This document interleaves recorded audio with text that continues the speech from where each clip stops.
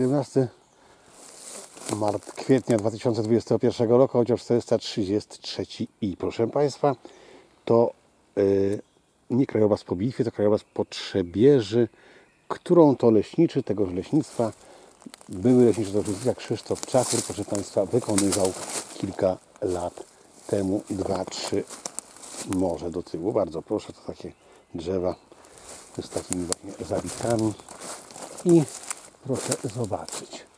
Tutaj leśniczy wykonał trzebież. Proszę zobaczyć, z jakim to pietyzmem ową trzebież zrobił. Tutaj y, Bozia w postaci wiatru wyrzuciła, przewróciła, przepraszam bardzo, y, brzozę. No i bardzo dobrze, że przewróciła. Ta brzoza stała, proszę Państwa, w tych tutaj dębach, tak? I idziemy dalej i pokazujemy, co widzimy. Bardzo proszę. Tam widzimy, proszę Państwa, dęba. Leśniczego wyznaczył, ale oczywiście swoim zwyczajem nie wyciął. Tutaj są takie dęby, które są wyznaczone, nie wycięte, ale są i takie, które są wyznaczone, nie wycięte, a zdziabana jest z nich e, farba. Różne cele służyły tym wszystkim zabiegom. Bardzo proszę, kolejny dąb, którego tutaj leśniczy pozostawił po trzybieży. Bardzo proszę. O ten tutaj, proszę. Bardzo. Taki tutaj sobie dom, nawet nie był wyznaczony. Tak?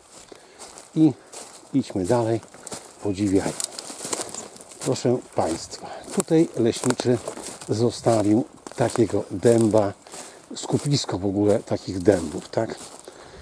Jakim prawem ktoś dał temu człowiekowi do ręki farbę i prawo do wykonywania, do wyznaczania trzebieży? Proszę zobaczyć.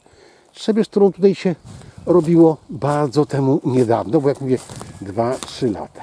Bardzo proszę. Trzebież w wykonaniu Krzysztofa Szachura.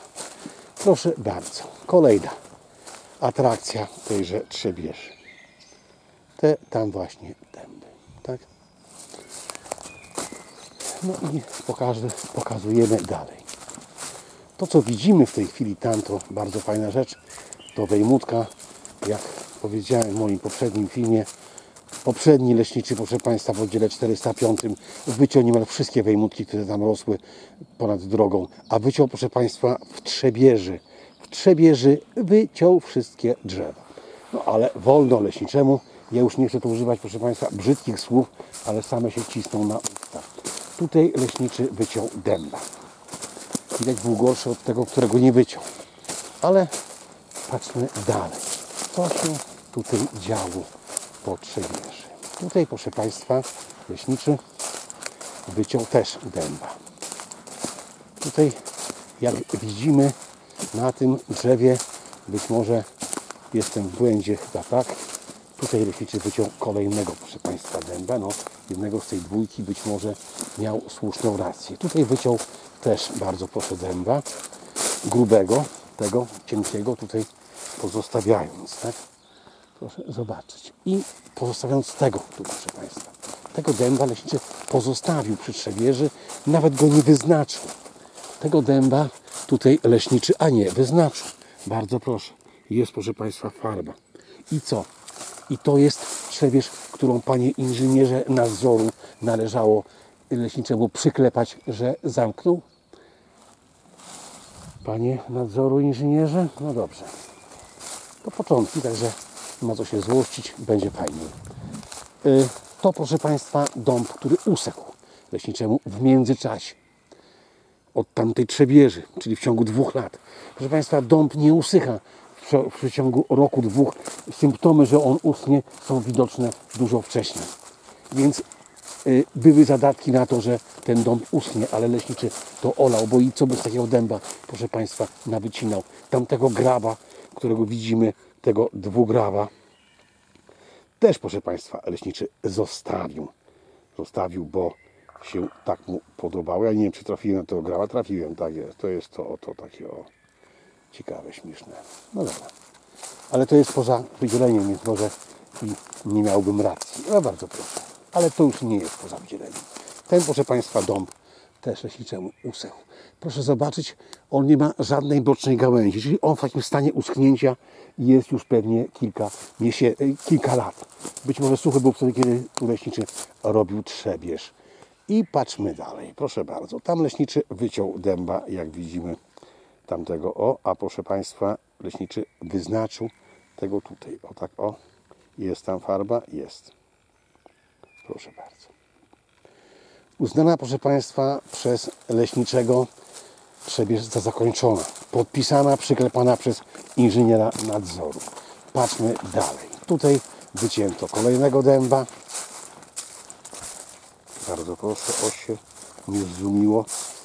I tutaj wycięto kolejnego dęba, bardzo grubego. Proszę bardzo. Jesteśmy, proszę Państwa, na takim rozdrożu, ponieważ tutaj jest granica wydzielenia i jak widzimy, trzebież trwała i tu, i tu, więc nie będziemy się pewnie mm, sugerowali. Yy, są to dwa wydzielenia po sąsiedzku, więc będzie można dojść prawdy, jak będzie potrzeba. W każdym razie jesteśmy o kilka kroków od owych wejmutek. Gdyby ktoś chciał trafić w to miejsce, bardzo proszę i zapraszam. Panie yy, nadleśniczy, tu wycięto takiego pięknego dęba. Proszę spojrzeć do góry. Dla kogo? Dla tego tutaj, który stoi. Tak? Dla tego dęba, proszę pana, wyciął leśniczy. Ja to już mówiłem w filmie, proszę pana, nadleśniczego. Bardzo proszę. Jak nie widać, to jeszcze przybliżę. Bardzo proszę. Proszę. Wycięto tego dęba, proszę państwa, bardzo grubego, ale przed tym wyznaczono tego. Czy to nie jest postawione na łbie, panie nadleśniczy? Panie inżynierze nadzoru, niech pan zobaczy, trzy dęby w kupie nie ma. Tamte wcześniej zostały wycięte, ale te dwa to teraz. Tak? A miał być któryś inny wycięty.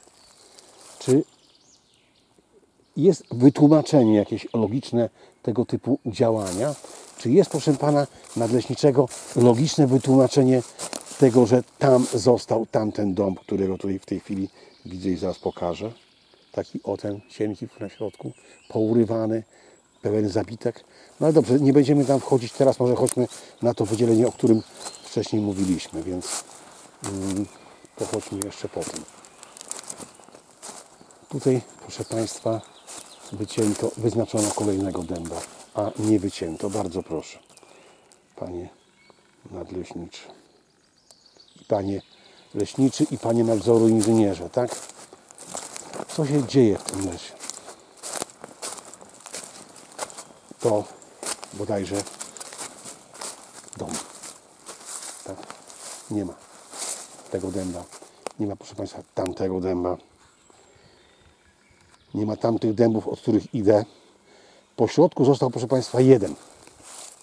Jeden dom został w środku. Wycięto dookoła wszystkie, które się dało. Tak? I co ciekawe, teraz tak, wycięto tego dęba, a proszę zobaczyć parę kroków w prawo, dosłownie 4-5 Tutaj, proszę Państwa, była farba. Widać wyraźnie, że jeszcze są jej szczątki. Zdrapano, zdziabano, żeby nie było widać. I tam już pokazywałem wcześniej na tamtym dębie też, proszę Państwa, jest farba, tylko że gdzieś tam chowa się za gałęziami. O, widać, tak? Panie inżynierze nadzoru, podpisujesz Pan takie rzeczy leśniczemu, że to zakończona powierzchnia jest w ten sposób? Kto tutaj inaczej. Ktoś kiedyś to rozliczy. Tak nie będzie, proszę Państwa, że to się tak da radę zamknąć, że starczyło, że się pogoniło stąd głównego bohatera i już wszystko będzie fajne. Bardzo proszę. Tam pokazywałem y, na tamtym dębie, że y, jest farba zdziabana. Bardzo proszę na tamtym, o tam daleko, tam. Może i stąd będzie widać, a będzie się bardzo, tak właśnie widać. Proszę bardzo. Na tym tutaj dębie farba została, a ścięto tamtego, o którym właśnie mówiłem. Dwa dęby w okolicy wyznaczono, ściętego tego pośrodku.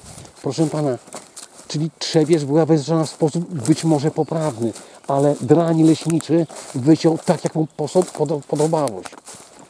I nie widziałeś Pan tego, Panie inżynierze nadzoru, nie byłeś Pan w tym miejscu. Pan to nie, mało gdzie byłeś, Panie, z tego co widzę, bo ja tu chodzę po tym lesie i wszędzie to samo widzę i Pan żeś tego nie widział. To jest właśnie dziwne, najdziwniejsze w tym wszystkim, że ja widzę niewidzialne, a inżynier nadzoru tego nie widzi. Bo nie chce, rzeczywiście nie widzi, a może nie chodzi po lesie.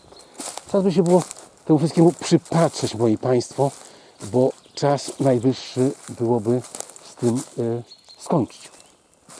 W jakiś sposób taki e, mądry, logiczny. Proszę Państwa, skończyć z tym draństwem, bo to tak dłużej trwać nie może. Bardzo proszę.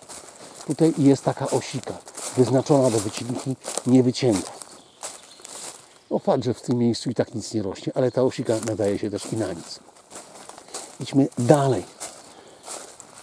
Kto tutaj chodził i na czyje polecenie zdziabywał tą farbę z drzew? Ja tu już kiedyś robiłem film, tylko nie wiem, czy go zamieściłem, ale ten zamieszczę na pewno.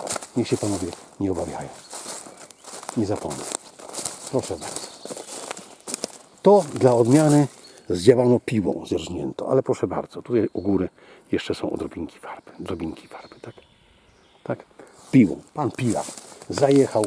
Kto panu pilarzowi dał pozwolenie na takie rzeczy? Ja wiem, że pan pilarz tego nie zrobił sam, tylko po prostu y, ktoś, kto stał obok pana pilarza, powiedział: weź tutaj panie, jako ta, jak tam ci na imię i zetnij to, bo utniemy inne drzewo. To niech zostanie. Jak długo to będzie trwało? No trudno powiedzieć. Cały czas zbliżamy się do granicy, proszę Państwa, sąsiedniego wydzielenia. E, czyli musimy wrócić się jeszcze raz e, w prawo. Coś tu jeszcze pewnie zobaczymy ciekawego. Ja tutaj e, do tego szedłem, ale do niczego nie doszedłem. Więc e, proszę Państwa, być może jako filmowiec dostanę jakąś nagrodę kiedyś w przyszłości. Honorują mnie na przykład. Proszę bardzo. Może mnie uhonorują. Proszę bardzo. Panie nadleśniczy, pytam kolejny raz, po co to się tak robi? To starczyło dziabnąć, a to się, proszę Państwa, skrzybie, żeby Frania nie widział, że to było wyznaczone. Tak? No to dobrze. Teraz tak, panie nadleśniczy. Wycięło się, proszę pana, tamtego dęba. Tamtego, o, co teraz Frania pokaże. Tego, bardzo grubego. Wycięło się tego tutaj dęba, bardzo proszę. Stał na otwartej przestrzeni. Nic w tym miejscu nie było, nikomu nie przeszkadzał. A proszę mi nie tłumaczyć, że był paskudny, bo paskudnych dębów w tym lesie zostawiono całe rzędy, całe rzesze. Nie wszystkie udało się, proszę Państwa, farby z drzew zdjąć. Część się stała, a może została po to, żeby po prostu wyglądało tak, jak wygląda. Nie po prostu człowiek, który to robił, nie wszystko potrafił dostrzec i przejść i zdziałać. Było tego na tyle dużo, że nie wszystko potrafił. Proszę bardzo. Kolejna osika, która e, rośnie, na której jest farba, proszę Państwa, to jest tamta osika. Bardzo proszę. Nie wiem, czy będzie widać farbę. Trudno mi czasem jest trafić tak e, kulą w płot, lepiej trafić niż w tą kamerą moją w osikę, osikę. No ale muszę to pokazać, ponieważ powiedziałem, więc żeby nie było tak, że ja mówię, a nie wiem co mówię. Więc proszę Państwa, idziemy do osiki. Proszę bardzo. To jest osika, którą wyznaczono, a nie zabrano z tego miejsca. Bardzo proszę. Tak, i idziemy do tyłu, pokazujemy kolejne pnie dębowe i kolejne, proszę Państwa, znaki, które zdziawano z drzew, bo żeby ukryć fakt, że się wycięło co ładniejsze dęby. Tutaj się wycięło dęba, no dobrze, tutaj się wycięło dęba kolejnego. Też zostawiło się, proszę Państwa, takiego tutaj szajsiaka, a wycięło tego, o, no bardzo proszę. Tamten dom, nie wiem, czy y, jest coś dziabane, jak to wygląda za nisko na, no, jak na, jak na, jak na y, wyznaczone do, do drzewo, no ale różnie to być mogło. Zakładamy, że nie wiemy. Pewności nie mówimy takich rzeczy, bo można zrobić niechcący komuś krzywdę, proszę Państwa, pomówić. Po prostu trudno jest pomówić leśniczego o cokolwiek. Ciekawym jestem zawsze tych tutaj znaków, po co one są. Podejrzewam, że chodzi o to, że zdziabało się y, znak farby, a żeby to wyglądało ciekawiej, to się po prostu podziabało dookoła więcej, żeby to tak było ciekawie i śmiesznie. Ja tak kiedyś znajdę tą farbę, wtedy będę miał pewność. Na razie farby nie znaszedłem. Dorodnych tej przecież też nikt nie znaczył, bo, im, bo i po co, bo się i nie znaczy. A widzę, że poznaczone jest sporo na tych drzewach. Nie wiem właśnie dlaczego i co to ma oznaczać. Taka robota. Więc jesteśmy w miejscu wykonywania przez leśniczego trzebież. Wiele miesięcy temu była owa trzebież wykonana jak pokazywałem dowody na to, jak ona jest zrobiona, że robiona jest tak samo jak i wszystkie inne dotychczas dowody na tą działalność są w każdym jednym wydzieleniu i na każdym jednym miejscu można je pokazać. Długie te moje filmy, ale cóż zrobić? Muszę dokumentować, proszę Państwa, wszystko, bo potem się rzucają, słychać głosy, piszą ludzie różni, że tam się to czy tamto, bo coś nie wychodzi. Bardzo proszę, czemu ścięto tego dęba? Trudno powiedzieć. Bardzo był gruby. Pewnie to wystarczającym powodem było, żeby go ściąć. Natomiast, proszę Państwa, nie ścięto. Yy, o, proszę bardzo, dobrze.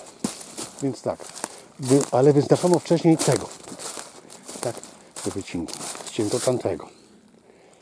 Tak to było, cygan te zawinił, Żyd zawinił, cygana powiesiło i jakoś to tak się mówi. Zapomniałem jak to się mówi, a jak się czegoś nie wie, to nie trzeba gęby otwierać.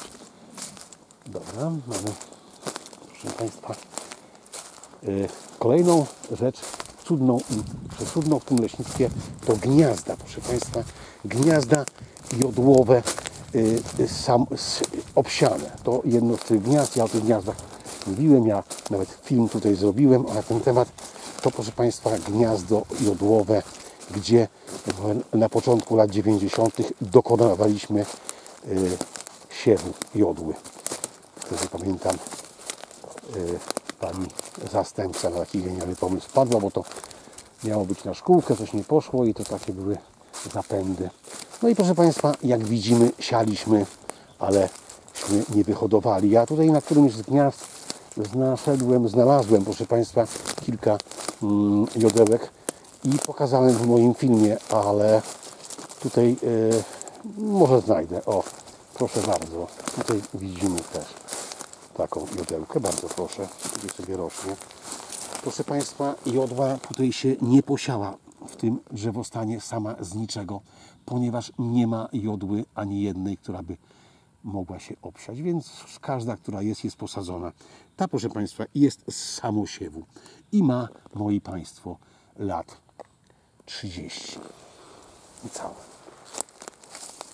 Tutaj możemy zobaczyć kolejną jodłę, która ją była, a już nie jest. Bardzo proszę, to jest to. I tutaj mamy, to jest to. Nie wytrzymało, proszę Państwa, próby czasu. Tutaj jodu było kiedyś dość dużo, sporo nawet, ale w tym cieniu, w tym habziu przepadła ta jodła.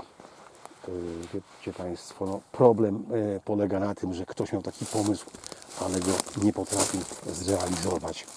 W konsekwencji wyrzucono w błoto nie tak pieniądze, bo proszę Państwa było to robione, pamiętam, takim czynem społecznym tej kobiety ze wsi pomagały nam w tym wszystkim, żeby to robić. Ja jeszcze mogę teraz e, przywołać z pamięci nazwiska, bo niektóre z tych osób jeszcze tutaj przecież żyją, mieszkają, niektóre już zmarły, więc można powiedzieć, że pomagały nam te kobiety w tym siewie i kosztów nie było żadnych, no ale jakkolwiek nie było, e, jedna z tych pań tutaj przychodzi czasem na grzyby i czasem o tym wspomina, że się orobiliśmy po darmo, bo proszę Państwa, dziady leśnicze, leśnicze dziady, leśne dziady nie zadbały o to, żeby to e, wyhodować, zadbać o to sposób właściwy. A będąc w miejscu trzebieży e, leśnego, mm, o, już nie będę mówił, to proszę bardzo, przy trzebieży leśniczemu się został taki tutaj grad. Jestem w innym wydzieleniu, ale to jest szczegół, proszę Państwa, nie chodzi o to, czy jestem w tym czy w tamtym. Jestem cały czas w tym samym oddziale 433 troszkę mi się omsknęło, przeszedłem poza wydzielenie, ale wracam z powrotem, gdzie byłem. Gdzie byłem, to wróciłem, proszę bardzo. I kolejne dęby wycięte. Kolejne pniaki po dębach, które się tutaj leśniczemu przydały, proszę Państwa. I kolejne dęby, które zostały, bo tak jak tamten, który zaraz pokażę, który to proszę Państwa ma zabitkę od samej ziemi, taką dość sporą i który jak przypuszczam nada się ewentualnie do piecyka. Być może trochę dalej tam coś z tego będzie, ale na pewno nie będzie na pierwszych trzech metrach, a może i wyżej. Bardzo proszę. Takiego proszę Państwa leśniczy Krzysztof Czachur Dęba tutaj zostawił, choć gruby jest a wyciął inne, ładniejsze. Dlaczego tak się dzieje, panie inżynierze nadzoru? Byłeś pan kiedykolwiek na którejkolwiek trzebieży, którą on wyznaczał lub na którejkolwiek trzebieży, którą on zakończył? Mnie to się tak wydaje, że to wszystko gówno prawda. Żeś pan nie był, że pan panie się boi do lasu pójść. Może się pan bałeś pójść do lasu z leśniczym, bo jakiś powód w każdym razie był. No i popatrzmy dalej. Proszę Państwa, trzebież wykonywana w sposób harcerski, powiedziałbym, tak? Wycinamy, proszę Państwa, ze środka najładniejszego dęba. Bardzo proszę. Tutaj tak to miało miejsce. Tu, o, proszę bardzo, tak, tego dęba ze środka się wycina. Ale, proszę Państwa, pokażemy, cośmy zostawili. Ruszyliśmy tego, tak? Ruszyliśmy te czy inne, następne dęby. Proszę bardzo. Ten, proszę Państwa, śmy zostawili. Proszę zobaczyć, co się dzieje tutaj w tym dębie. Bardzo proszę. Dom, który nadaje się do pieca. Będzie się nadawał do pieca. Podobna sytuacja jest i z tym dębem. Ta listę, proszę Państwa, i tam dalej się ciągnąca, dyskwalifikuje tego dęba jako dęba tartacznego. Będzie dębem stosownym. I te dęby, proszę Państwa, leśniczy pozostawił. Tutaj wyciął sosnę. Tak? Kolejnego dęba leśniczy pozostawił, w którym, proszę Państwa, tam ja stąd widzę, a leśniczy młodszy ode mnie o kilka lat, to i wzrok powinien być trochę lepszy, proszę Państwa, a nie widział, o i kamera też nie widzi, kamera też ciemna. Yy, coś mało światła jest, w każdym razie coś jest takiego, że a nie chce mi wyostrzyć, a może teraz wyostrzy. Yy, o bardzo proszę, tam jest proszę Państwa huba, o tam huba, tam dzięcioł się pod tą hubą podpisał, tak, tego dęba, proszę Państwa, leśniczy nie wyciął, uznając, że i tak gówno z niego będzie, niech sobie tutaj stoi i rośnie. Wyciął, proszę Państwa, yy, pewnie w to miejsce innego. Popatrzmy, to są sosny. Proszę zobaczyć, co się dzieje dalej. Tutaj wyznaczył leśniczy sosnę, ale też jej oczywiście nie wyciął, ponieważ sosna ta krzywa i paskudna. Tak? Ale w to miejsce masa musiała się, proszę Państwa, zgodzić, więc trzeba było gdzieś sosnę wyciąć. Wycięło się pewnie ładniejszą. Trzebież, proszę Państwa, ma za zadanie wypromować najładniejsze drzewa w lesie. I to jest jej główna idea i główna zasada pracy w lesie, a leśniczy ma to zrobić, proszę Państwa, a nadleśniczy ma go dopilnować, żeby on to zrobił. A tutaj w leśnictwie Rudki wszystko działo się odwrotnie.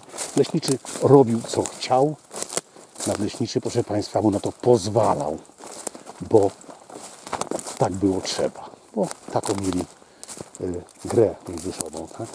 Że umyśleli takie coś. Proszę bardzo.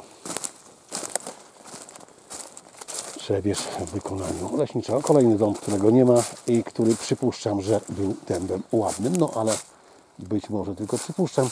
Chociaż proszę zobaczyć tam taką sytuację.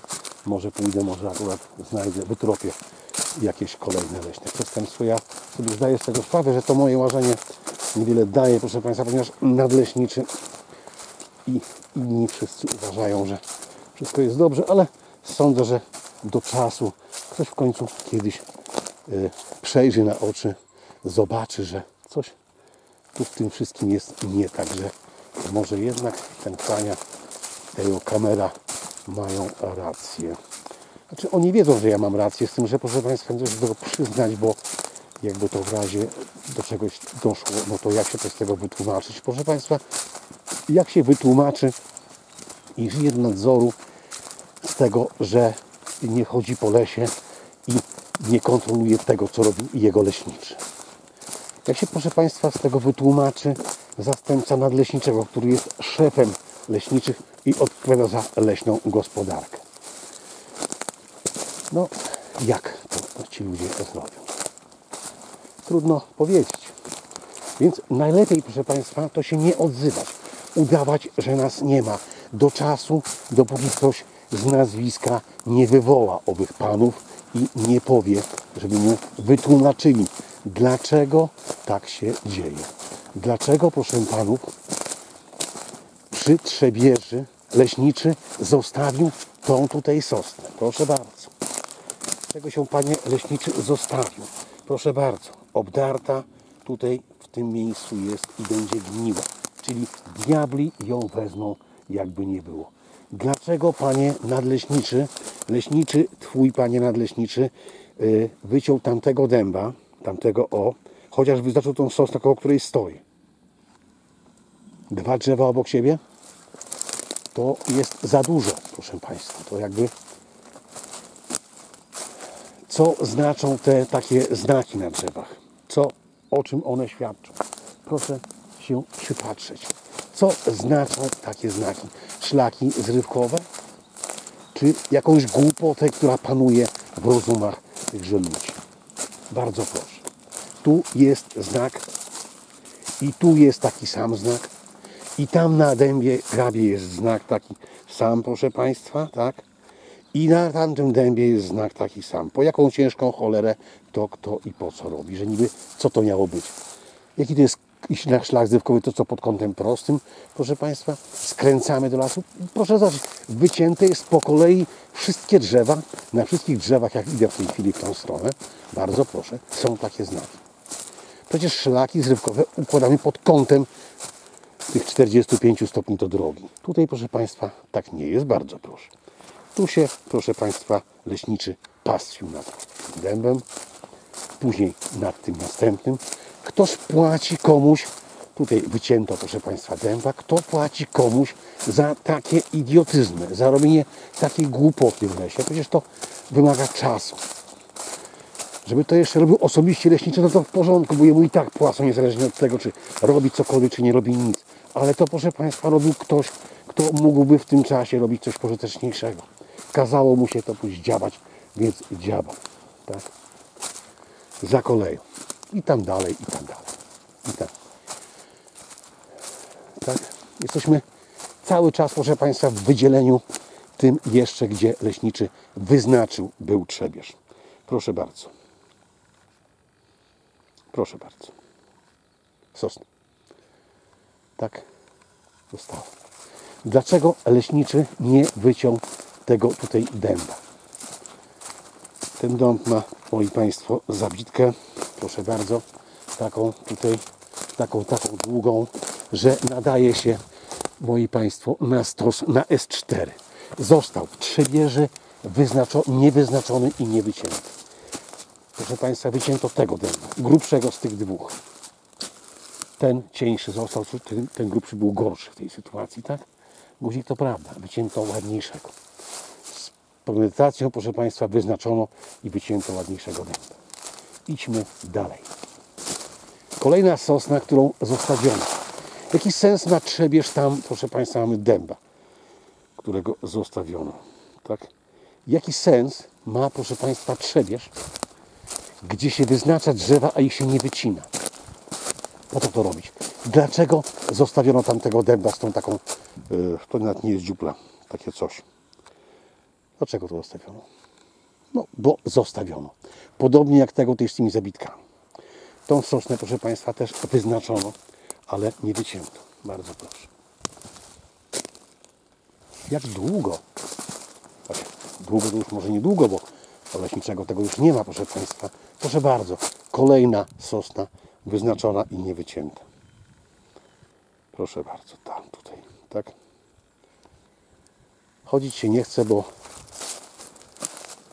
to niech chodzi kamera, ma tyle do roboty. Proszę Państwa, kolejny dom, którego wyznaczono, nie wyznaczono, przepraszam, na którym porysowano jakieś sobie tylko znane tajemne znaki. Ja się zapytowuję pana inżyniera nadzoru, co znaczą te znaki na drzewach. Ja spotykam tych znaków bardzo dużo, w różnych konfiguracjach, w różnym układzie, proszę Państwa. Co znaczą te znaki, panie inżynierze nadzoru? Te, o tutaj, o te, o te. O, co, że co to jest? Dom, proszę Państwa, z dziuplą. No, zgadza się. Niczego nie wyznaczył i poniekąd słusznie, bo tutaj w, obok niego nic nie ma. Generalnie niech tam i dzięcioły coś mają w życiu od lasu. Ale patrzmy dalej, co wyznaczył, a co nie wyciął. Proszę Państwa, wyznaczył tą osikę, ale oczywiście nie wyciął. Bo i po co? I dlaczego? Proszę. Bardzo. I proszę Państwa, tam troszkę dalej wyznaczył, był sosnę koło tego dęba. I teraz przejdę do tej sosny pokazać, jaką niegodziwością jest tego typu robota. Raz, powinno być to dawno temu wyznaczone, wycięte, a skoro nie zostało, to już teraz byłby czas najwyższy.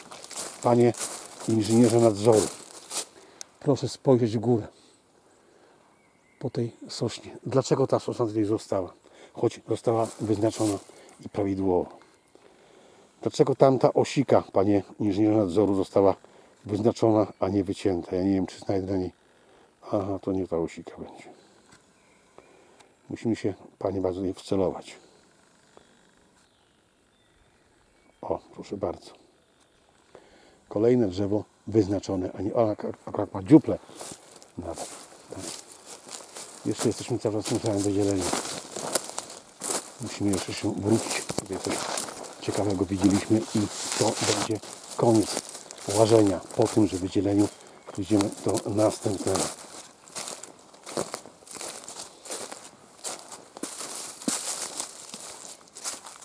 Tak, moi Państwo. Tutaj mamy dęba. Myślę, że go też nie wyciął. Choć powinien. Ma ten dąb, listew. Być może kiedyś tam coś tego jeszcze będzie. Być może. Bardzo możliwe.